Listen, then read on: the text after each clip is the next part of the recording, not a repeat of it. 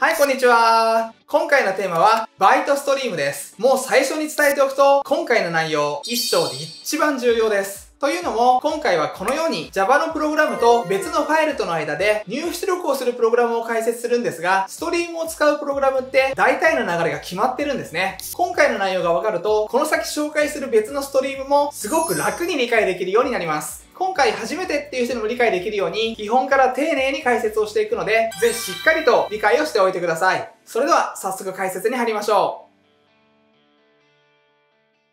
まず今回、ファイルとの入出力をするときに使うのが、この2つのクラスです。Java のプログラムから見て、別のファイルからデータを読み込むためのファイルインプットストリームクラス。そして別のファイルにデータを書き込むために使うのが、ファイルアウトプットストリームクラスです。これそれぞれインプットストリームとアウトプットストリームなので、送られるデータは両方ともバイトのデータ、01のデータが送られることになります。この2つのクラスは両方ともこのように java.io パッケージに含まれて提供されていて、それぞれインプットストリームクラスとアウトプットストリームクラスを継承する形で作られています。つまり、ファイルインプットストリームクラスには、ファイルの情報を読み込むための read メソッドと、ファイルを閉じるための close メソッドが実装されていると。アウトプットの方も同じで、ファイルにデータを書き込めるような write メソッドと、ファイルを閉じるための close メソッドが実装されています。なので、この2つのクラスを使うということは、ここにあるようなメソッドを使うということになるわけですね。じゃあ、どうやってメソッドを使っていけばいいかということで、続いてこの図を使って、ストリームの使い方を解説していきます。ここで紹介するのが今回一番重要な図ですね。これからこの講座でいろんなストリームを紹介していきますが、どのストリームも大体この3つのステップを追って使うことができるというふうに思っておいてください。それじゃあ、ステップ1からいきましょう。ストリームを使うには、まずストリームを開くということを行います。ストリームを開くというのはどういうことかというと、Java のプログラムとつなぎたいものの間でデータが流れる筒を作るイメージです。じゃあどうすればこのような筒を作れるかというと、プログラムの中でコンストラクターを呼び出して、ストリームのオブジェクトを生成します。そしたらステップ2ということで、今作った筒を使ってデータの読み込みや書き込みを行います。プログラムの中でデータを読み込むには、さっき作ったオブジェクトから read メソッドを呼び出します。書き込む場合は、 write メソッドですね。データの読み書きが終わったら、最後ステップ3、使ってきたストリームを閉じます。ストリームを閉じるには、クローズメソッドを呼び出すだけですね。というわけで、この3つのステップが一般的なストリームの使い方です。これ全体的にすごくシンプルですよね。まあ、ただ、要注意ポイントを2つ話しておくと、まず1つ目は、最初のストリームを開くとき、これ、ただオブジェクトを生成するだけで OK です。これよく開くという言い方をするんですが、オープンというようなメソッドはないので、念のため気をつけておきましょう。そしてもう一つ、これは超重要ですが、最後のストリームを閉じる。これを忘れないように気をつけてください。これ具体的に何やってるかというと、ファイルとの入出力をするときって、ファイルの情報とか、他にもいろんな資源を使うんですね。このクローズメソッドには、入出力のために使った資源を解放するという役割があります。これを忘れちゃう人が結構多いので、この動画を見てくれているあなたには、ぜひ気をつけておいてほしいと思います。じゃあ続いて、こちらの図を使って、具体的なサンプルプログラムを紹介します。この図は後で実行するプログラムから特にインプットの処理を抜粋したものですね。まずはじめに、ストリームのクラスは java.io パッケージに含まれているので、インポートの処理が必要です。そしたら自分のクラスの中でファイルインプットストリームクラスを使えるようになります。まずステップ1がコンストラクターを呼び出してオブジェクトを生成します。そしたら、今生成したオブジェクト FIS から read メソッドを呼び出してデータを読み込むことができます。そしたら読み込んだデータを使って最後に忘れちゃいけないのが close メソッドの呼び出しですね。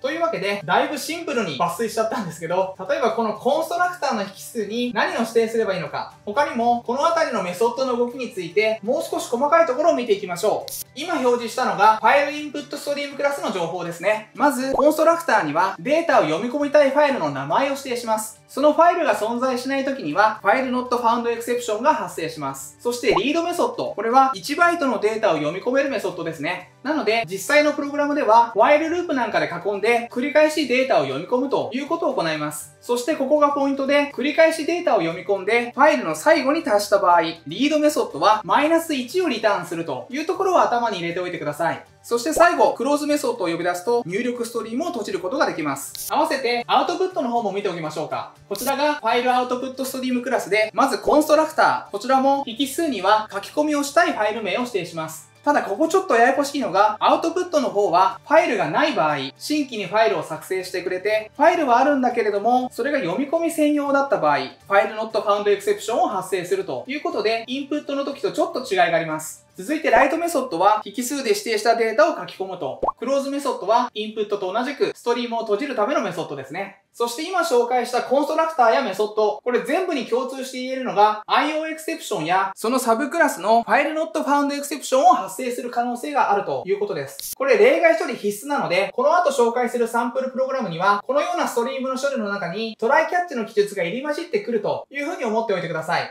それでは続いて、ファイルの入出力のプログラムを見ていきましょう。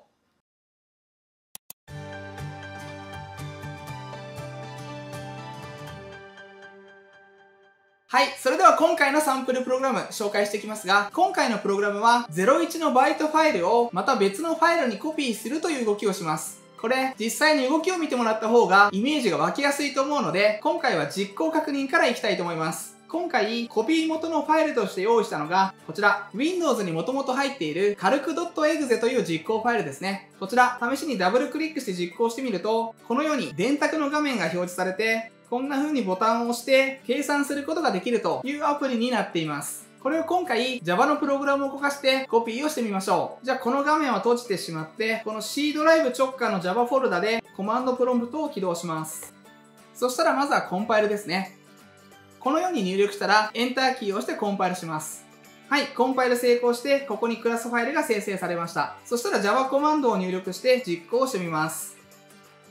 今回はこのように実行するときにクラス名の後、コピー元のファイル名とコピー先のファイル名を指定して、軽く .exe ファイルの中にある01のデータをコピー .exe ファイルにコピーするということを行います。じゃあこちら実行してみましょう。はい、そうすると隠れちゃってるんですが、ここに新しく copy.exe というファイルができていて、こちら実行すると、このようにさっきと同じような電卓の画面が表示されて、さっきと同じように計算ができるというようなアプリが起動します。正しくファイルのコピーができてますね。じゃあこの電卓の画面を閉じてしまって、このような処理をするにはどんなプログラムを書いていたのか、実際に中身を見ていきましょう。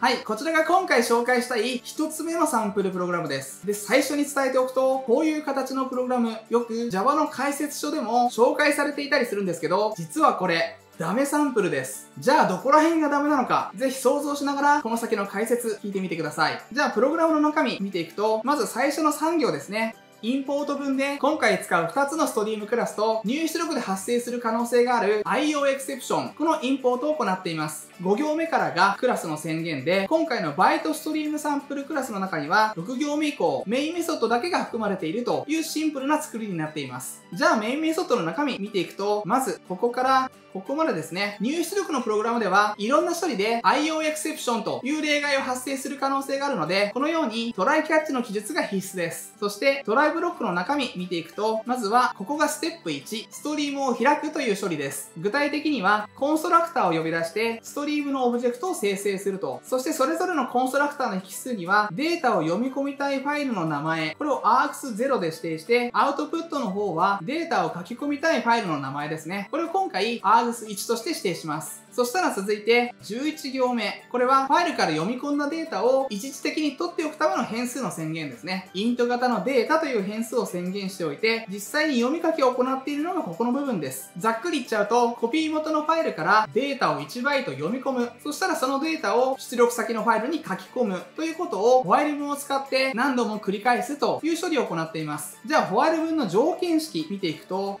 まずここの部分ですね。これ特に初めての人は見慣れない記述だと思うんですけど、これ何やってるかというと、まず、ここの部分で fis.read メソッドの呼び出し、ファイルから1バイト読み込みを行っています。そしたら読み込んだデータをデータイコールということで、11行目で宣言した変数データに代入するという処理ですね。そして、その処理全体をまたカッコで囲むという記述なんですが、これ実行するとどうなるかというと、この選択している部分、ここがこのように読み込んだデータに置き換わるというイメージを持ってください。そうすると、読み込んだデータがマイナス1でないかどうかをチェックすることができます。つまり、ファイルのデータを読み込んで、ファイルの終わりに達していない場合、ファイル分の処理を繰り返すという動きになるんですね。で、どんな処理を繰り返すかというと、一旦ここ元に戻して、リードメソッドで読み込んだデータを、そのまま14行目、FOS のライトメソッドに渡して、出力先のファイルに書き込むということを行っています。これをぐるぐる繰り返すことで、コピー元のデータを全て読み込んで、読み込むたびにコピー先のファイルに書き込んでいくということを行っています。そしたら最後、ここの部分で、ステップ3、ストリームを閉じるという処理ですね。2つのストリームからクローズメソッドを呼び出すという処理を記述しています。そしてこのトライブロックの中で、もしどこかで例外が発生した場合、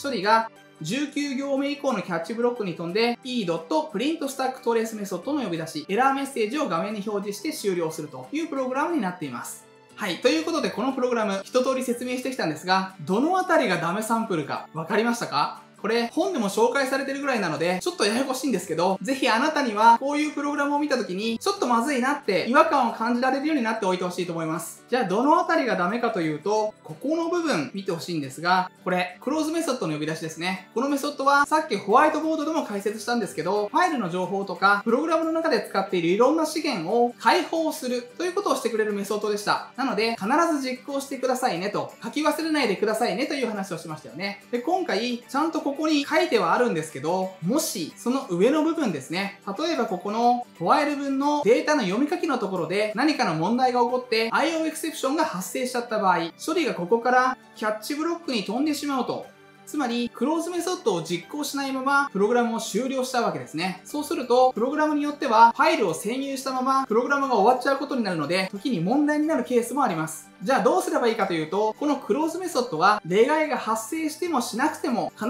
ず実行できるように、 finally ブロックの中に書くんですね。そうすると、プログラムがどう変わるかということで、書き換えた後のプログラムがこちらです。はい、書き換えるとこのように縦にちょっと長くなって最初は難しそうって感じる人も多いのでさっきのプログラムからどこが変わったのか順を追って解説していきます。まず、ここの部分、2つの close メソッドを finally ブロックの中に記述しました。具体的にはここの部分ですね。そうすると、この close メソッド自体も IO エクセプションを発生する可能性があるので、今選択している部分、 finally ブロックの中にも、また try catch ブロックを書く必要があります。合わせて、この FIS と FOS、2つの変数は、さっきのプログラムの場合、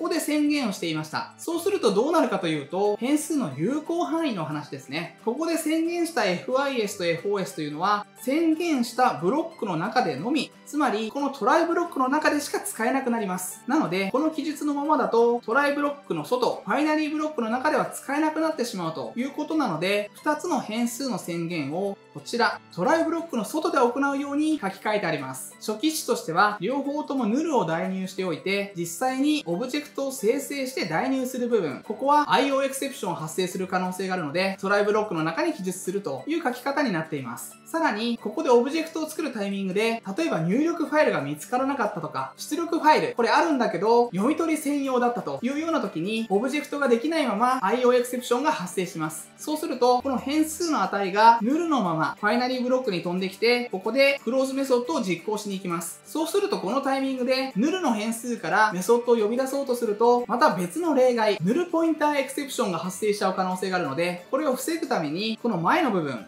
if 文で変数がヌルでない場合にのみクローズメソッドを実行するということで、if 文をワンクッション挟んでいるという記述になっているわけですね。はい。というわけで、どの部分が変わったのか、バーっと説明してきちゃったんですが、なかなか1回では分かりづらい部分もあると思うので、もし必要な人は何度か動画を見てもらって、少しずつ慣れていってもらえたらと思います。で、実際の開発現場でも、こういう書き方をするケースが多いんですが、これ、書くべきことが多くなりすぎて、可読性が下がっちゃうっていう面もあるんですよね。なので、Java のバージョン7から、このような処理をもっと楽に記述できるという新しい書き方ができるようになりました。その書き方については、また別の動画で解説したいと思ってるんですけど、まずは、このベースの書き方に少しずつ慣れていってほしいと思います。というわけで、今回はバイトストリームについて解説しました。今回の内容は重要ですと最初にお話ししましたが、特に重要なのは、ストリームの使い方の部分ですね。この先、いろんなストリームを紹介していくんですけど、ほとんどが今回の3つのステップでストリームを使っていくことができます。実際のプログラムはちょっとややこしい部分も多かったので、この先の動画を見ていきながら、ぜひちょっとずつ慣れていってください。もし今回の動画が良かった、参考になったという人は、この動画を他の人にも見てもらえるように、ぜひいいねやコメントで感想など送ってもらえたら嬉しいです。そして今回のバイトストリームは、 exe ファイルみたいな01のバイトファイルを扱うのに便利なんですけど、次回は文字のデータをやり取りするときに便利な文字ストリームについて解説をするので、ぜひチャンネル登録をして楽しみに待っていてください。それではまた次の動画で会いましょう。ありがとうございました。